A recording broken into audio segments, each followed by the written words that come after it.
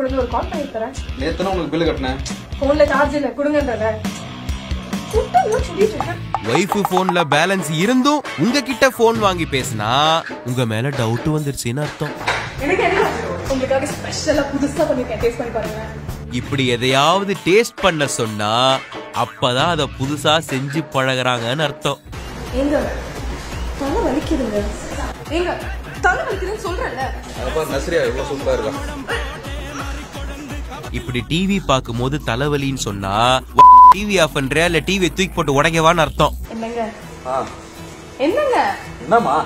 எனக்கு கொஞ்சம் ஆபீஸ்க்கு லீவ் போடுங்களேன். எதுக்கு? லீவ் தான் போடுங்களேன்.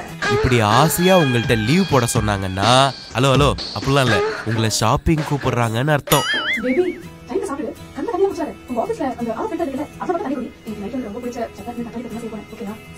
இப்படி உங்க மேல தொடர்ந்து ஒரு வாரம் பாசமா இருந்தாங்கன்னா அவங்க பிறந்த நாள் பக்கத்துல வந்துருச்சுன்னு அர்த்தம். என்னம்மா லஞ்ச் ரசமும் அப்பளமும். செல்லகுட்டி இன்னைக்கு என்ன ஸ்பெஷல் அதே ரசமும் அப்பளமும் தான்.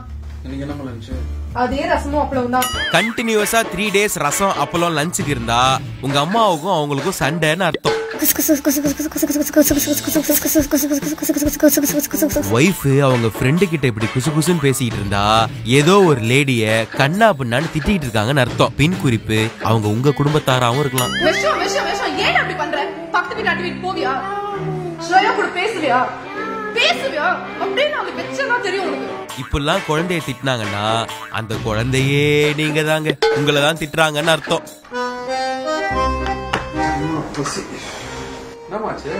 கை கால்லாம் ஒரே வலிங்க.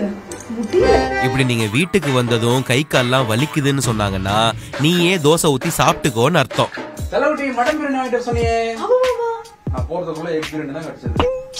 சரி பரவாயில்ல. குலோப் ஜாம் கேட்டல ஆமா.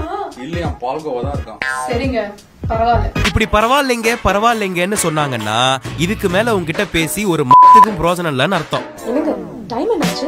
வீட்ல அவ்வளோ கடிகாரம் இருந்து உங்ககிட்ட ஃபோன் பண்ணி டைம் என்னாச்சுன்னு கேட்டா நீங்க வீட்டுக்கு சீக்கிரம் வரணும்னு மட்டும் அர்த்தம் இல்ல. வரும்போது ஏதாவது வாங்கிட்டு வரணும்னு அர்த்தம்.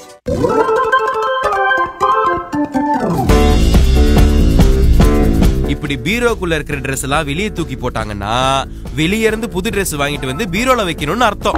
பேபி எங்க இருக்கீங்க? அஹ், அப்ப எனக்கு கொஞ்சம் சீக்கிரம் வீட்டுக்கு வர முடியுமா? இப்படி உங்க ஒய்ஃப் சிரிச்சுக்கிட்டே போன்ல சீக்கிரம் வாங்கன்னு சொன்னா ஒய்ஃப் சைடுல இருந்து ஒரு பெரிய கும்பலே வீட்டுக்கு வந்திருக்குன்னு அர்த்தம்.